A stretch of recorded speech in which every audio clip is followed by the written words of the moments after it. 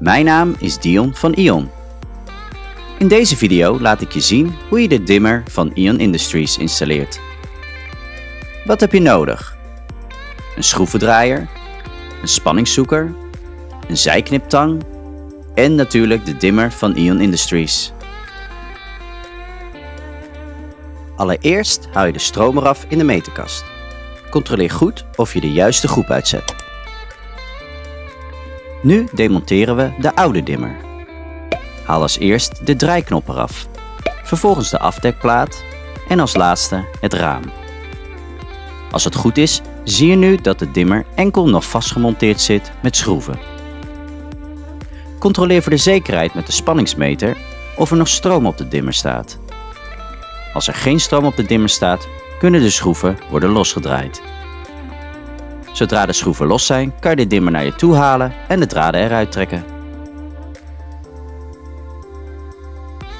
Controleer de lengte van het draad en knip deze eventueel korter als het koperen uiteinde te lang is voor de nieuwe dimmer. Nu gaan we de nieuwe dimmer aansluiten. Pak de dimmer van Ion Industries erbij. Aan de onderkant van de dimmer vind je de aansluitingen voor de bedrading. Steek het bruine fasedraad in het gat van het L-symbool. Het zwarte schakeldraad wordt bij het symbool met een golfje en een pijltje. De EXT-uitgang kunt u gebruiken om eventueel een extra schakelfunctie te bedienen.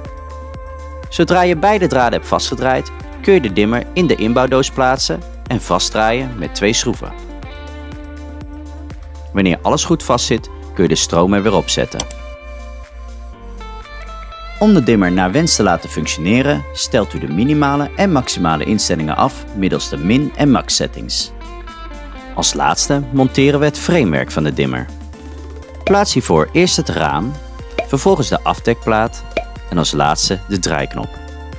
Test nu of de dimmer nog steeds werkt zoals gewenst.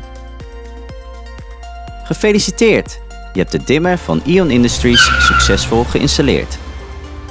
Heb je nog vragen of wil je meer informatie over Ion Industries?